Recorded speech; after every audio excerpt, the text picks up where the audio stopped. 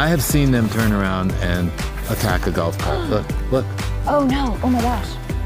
Can he take off and go really fast? He can run really fast. So as soon as he senses another bull in the area, he's gonna go meet them along the way. He's gonna try. He's gonna protect his herd. He's gonna he'll he'll decide what distance is too close. Okay. And sometimes I've seen him be really aggressive.